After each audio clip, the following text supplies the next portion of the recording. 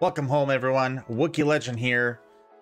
Today we're continuing the how-to for cruisers, how-to for beginners for cruisers. Uh, we're on the Emile Bertin French cruisers. Uh, French are fantastic little boats. Um, they're actually ideal for new players. They will kind of teach you how to survive. Uh, the whole point of these ships are they're fast. Uh, they have good AP and HE. They're 152s. Uh, they have torpedoes if you if you're in trouble. The range is six kilometers. Not the craziest, obviously. You're there for defense. Um, they're really good for flanking and uh, try to stay almost max range, but you're there to support um, your your destroyers and your battleships. So here we go. We're gonna look at the captain and pretty much stick with what Wargaming kind of suggests. You go with the gun rotation.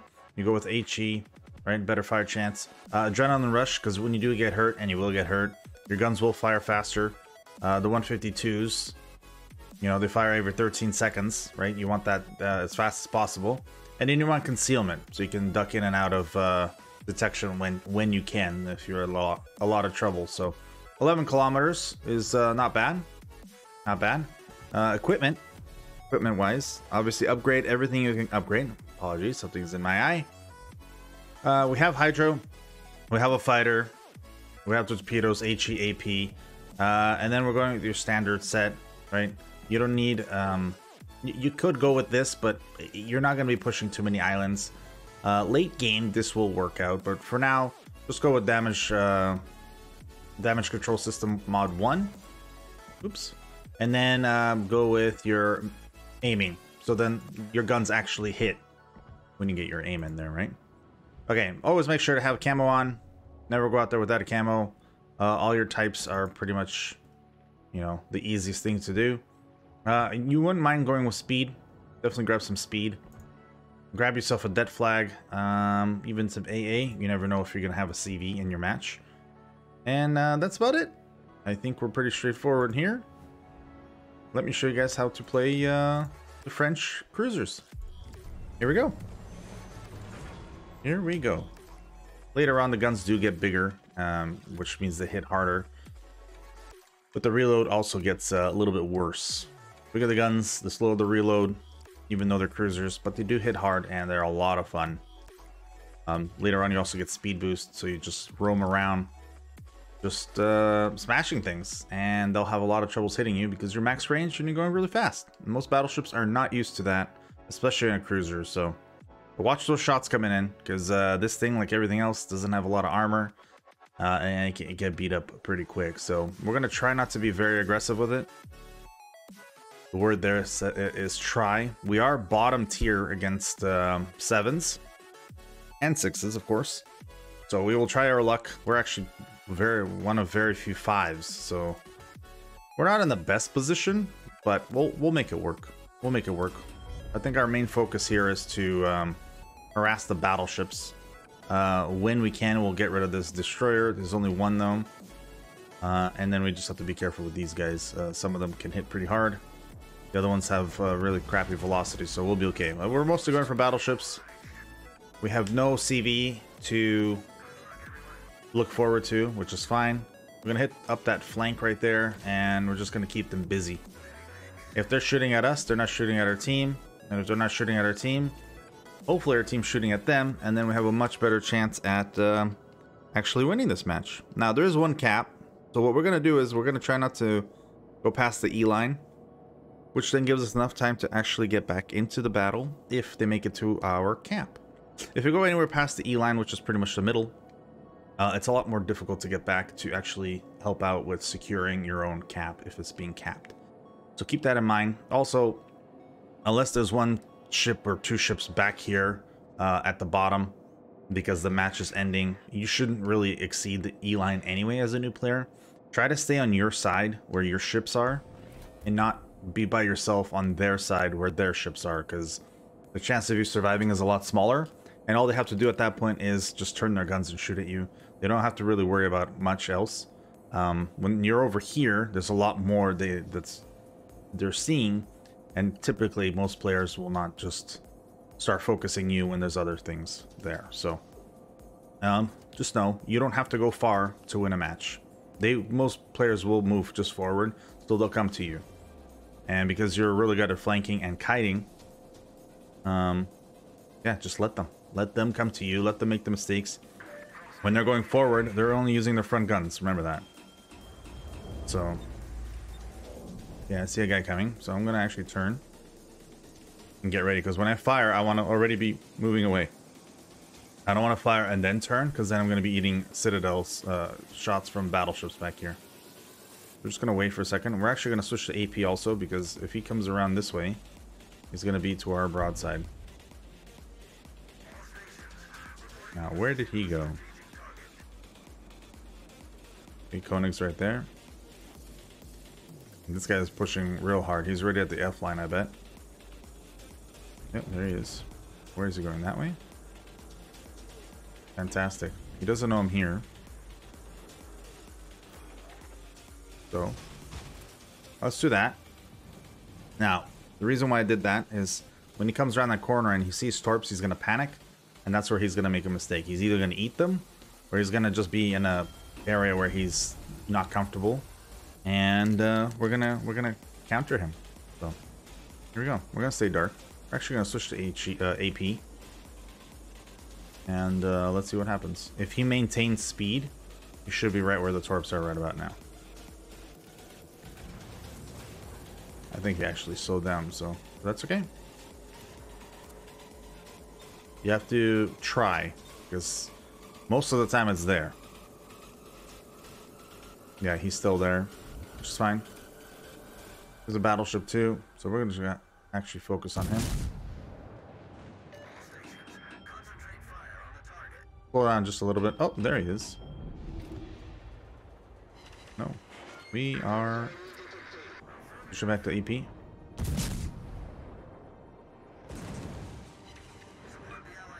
Got a much better shot than he did. There's the battleship. And mistakes were made. We're ducking and dodging. AP. Let's secure this kill. we can get a win. Oh. Okay, we'll roll.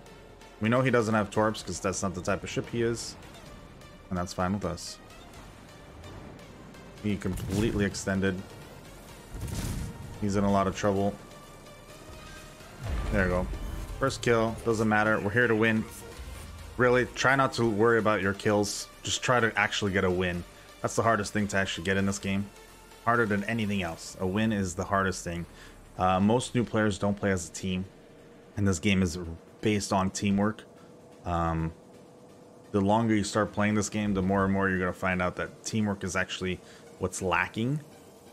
So as a new player, I highly recommend doesn't matter who these guys are. I have no idea who they are. I've never seen these guys before. But they're my team. So my team needs to win. What do I need to do to help my team? Well, I need to be that support ship that I, am playing. I'm playing a support ship. Then we're going to be playing support. I'm not going to go do my little side missions, my little side quests. Like I like to I like to call them side quests because people just go on their own. He's not. People just go on their own and do their own thing. Well, that's not really helping the team. See where that Kavor is on the enemy team? He's not helping their team. He's at H2 going to I2. There's nothing over there. Look where his team is. Look where he is. Can he make a shot? No. And even if he can, uh, he's not in a position to do any countering anything. So if these guys are dying and he has to come help them, well, back there is not going to really help him. He's, he's not going to get any any help. Now, let's keep moving because we're going to die being, being slow. Okay, battleship. Remember, we're focusing the battleships, burning them down. And because we have speed, we're going to get them to shoot at us. Well, he's going to shoot at us anyway because we're a cruiser. And we're presenting side. So we're going to actually stop and turn because he's about to shoot at us. See? Always be prepared for that shot. The stop and turn helps so much. And you can do this multiple times because they will miss.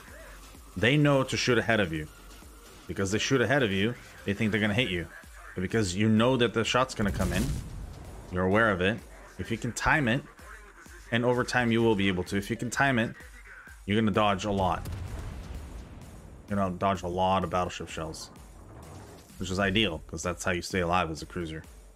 Even with a DD. Even with the battleship. Even with the battleship. Seeing those shots come in, and you know they are, because the guy's looking right at you, right?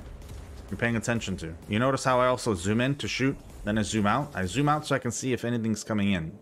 they're shooting at you, you need to know from where. So then you know which side you are going to be turning away from. You do not want to be broadside. Okay? Now, to change the guns like you saw me do, uh, you press C. It changes to the back guns or the front guns. The camera actually change, changes. You can change the camera. You change the camera. It's still the same shot. You can make the shot from here too, but it's a lot easier when you're looking at the ship, right? And just look up and see where he is, and then and then try to aim to where through the island he would be, right? Not an impossible shot. And if the indicator doesn't show you a little mountain, that means that uh, you can potentially make the shot. Now, the mountain doesn't tell you which gun's gonna hit the mountain. I'm trying to get Wargaming to actually do something about that. Um, so hopefully over time, that's gonna there's gonna be change there.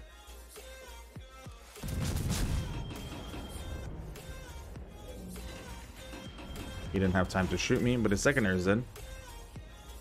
Okay, we're gonna actually move forward. Because he's rotating, his guns are rotating. He's not gonna be looking at us anymore. Or maybe he is. Maybe we shouldn't. Okay. We'll slow down. Down.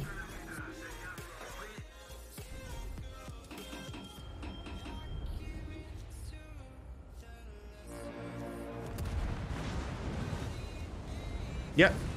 So remember how I was gonna go that way too, but his guns were looking? Well, that's what would have happened to me. He, he was broadside to that guy waiting, and that guy just killed him. It's that simple. You just have to watch. Why engage someone that can kill you in one shot when you can't kill him in one shot, right? Just wait.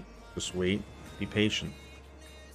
Now he is coming around, so I'm gonna come torps there, and we're gonna get ready again.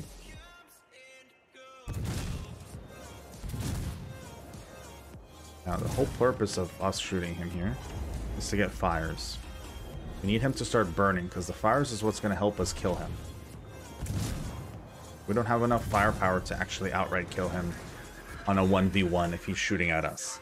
So the fires is what's going to be killing him while we're not engaging him. See? It's uh, damage over time, right? Dots. You want dots. Now, we also dumped Torps thinking that he'd do what he did. Uh, unfortunately, we missed. We were so close, he would have been dead. Right? See our fire still ticking his health down? He's not engaging us, he's engaging the battleship. He wants to engage us, he's turning his guns, but it's already too late. I believe he'll die before he shoots us. Nope, he won't, but he will die. So all we do have to do now is go thin. Oh, okay. Try to go thin and stop. Most players know that you're moving, or I assume that you're moving. Um, so if you stop, actually, it'll throw off a shot. He will be aiming somewhere else, and a shot will go short, right? They don't assume that you're going to just stop in front of them. They, no one assumes that. Why would you? You're a cruiser. So what you do is you try to trick them. That's why when you're, um, let's say if he's here and, and he's shooting at you, he, he's trying to shoot in front of you so you can run into the shot, right? You're, you have to lead the shot. So when you're you're when you're running away from a battleship, you want to lead the shot in a way where you can stop and turn away from where he's shooting. But you're making him shoot there. You want him to shoot where you're going, but you're not go going to go there. You're going to turn away from that spot. You're trying to trick them into shooting there. Okay?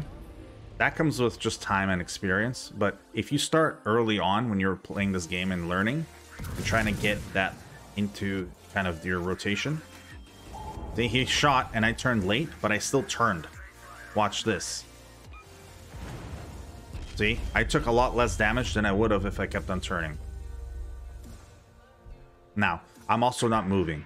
Uh, the whole point of this ship and the way it works really well at most cruisers is by movement. Lot, some cruisers can actually stay behind islands and do very well, but these ships, the French cruisers, are all about movement. The, the faster you are, the more you can dodge. That's kind of how it works. Uh, and it works really well that way. Now, we're not engaging him, but we can engage him. Our team's slowly falling apart. We're paying attention. He can't shoot us. Okay. Oh, he slowed down. But he's shooting back at us. Oh, he got a really good shot on us. But we are also going broadside. We're losing a bunch of ships because they're just pushing forward. Remember what I said? There's no need to push forward because they'll push you. They will come to you. There, there, there's no doubt that they will come to you. Oh, we have to help out with this battle destroyer. Hopefully we can get rid of him. That's their only destroyer. Even if our battleship dies, as long as that destroyer is dead, we have a huge advantage because then we, we're not going to get spotted by someone that we can't see.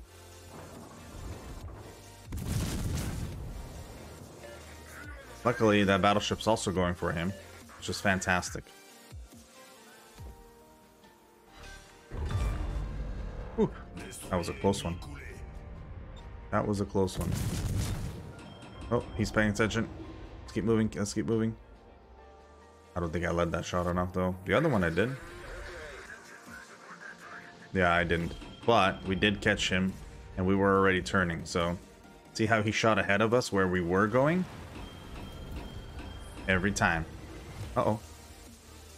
We weren't aware another battleship shooting at us. Let's be very careful here. Gonna keep moving. Let's get out of this position. Problem is, we don't have a lot of ships left, and they still do. And their ships are very healthy, and they have a lot of battleships. Uh, and the, the battleships are positioned in a way where we're not really going to dodge a lot of battleships. We're going to get hurt really badly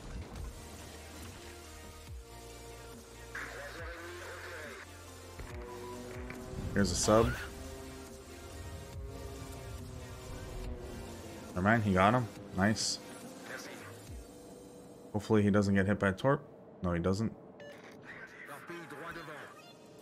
Back to base, please. You can always ask nicely. We need everyone here because we need to focus fire them. I don't know why the Flint went over there. He knew where he was. Way too late on the smoke. Yeah. It, it doesn't work that way, guys. If you're going to be a cruiser with smoke, you need to smoke before they show up, and you need someone to spot for you. Um, if you're waiting to spot them so they can shoot you, so then you have 20 seconds of them being spotted in your smoke, well, that's what happens. You, you just die. Even if he had full health, he'd probably be dead there.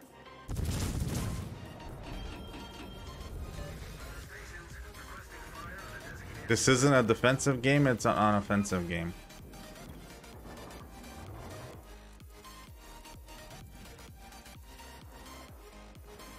So I said, sure, read the mini-map. Should we go offense now when we're outnumbered and outgunned? Hmm.